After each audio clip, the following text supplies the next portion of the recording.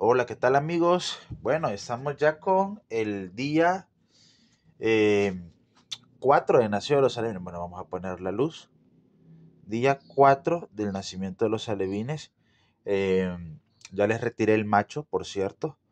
A ellos no les voy a dejar el macho. Bueno, aquí tengo la otra puesta, miren, donde el macho está con los alevines. Ver dónde está el macho. Ahí está, ahí anda con los alevines. Ahí está el macho. Ahí anda con sus alevines. Bueno, a ellos les retiré el macho porque quiero sacarle otras puestas a ese macho, ya que está bien bonito y bueno, quiero trabajarlo.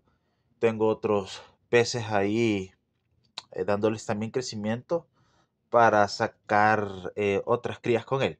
Pero bueno, eso va a ser otro tema. Eh, hoy lo que te quiero mostrar pues es eh, hoy va a ser la primera alimentación de ellos. Fíjese que ahorita estoy con una duda de que, bueno, bueno, quizás un poquito preocupado porque, bueno, la temperatura, quiera sí o no, ha bajado un poco aquí en el país.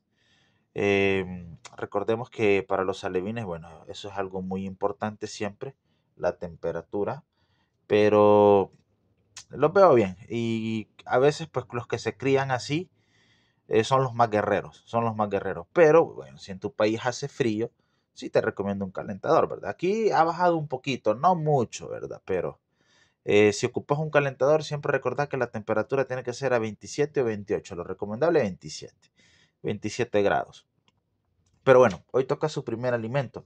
Miren, esta a veces es una de las preguntas bien comunes. Quizás personas que no ven eh, todos los videos, ¿verdad? Eh, porque no es primera vez que hago esto de que el, cuál es el primer alimento. Mucha gente me dice, che, el microgusano, yema de huevo.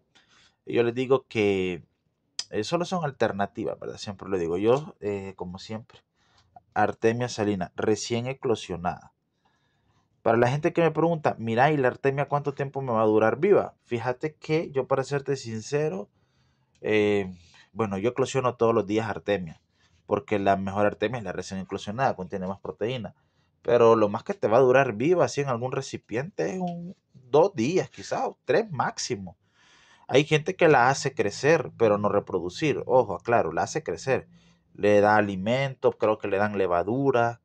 Pero de ese, ese tema no sé mucho. Te soy sincero, no sé mucho porque no lo hago. Yo todos los días eclosiono artemia.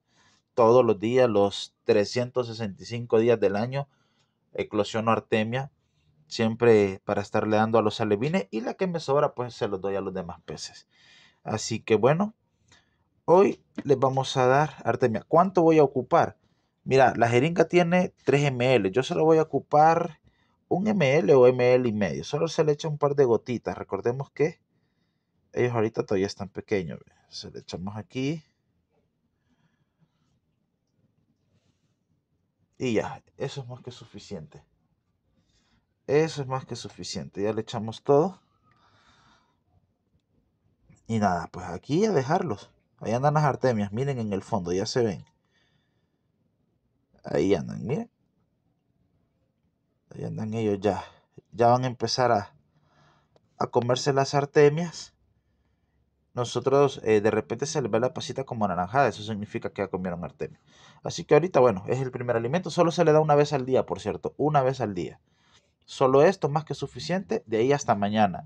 Eh, ahorita lo vamos a dejar ahí y en un par de días lo vamos a cambiar de recipiente. Así que bueno, empezamos con la primera alimentación de los alevines, gente. Y nada, ahí vamos, ahí vamos mostrando el desarrollo. Igual que el de ellos, ahí lo vamos mostrando. Este va a ser otro videito cuando hablemos un poquito de ellos y cómo van. Así que bueno, ahí vamos, gente. Saludos.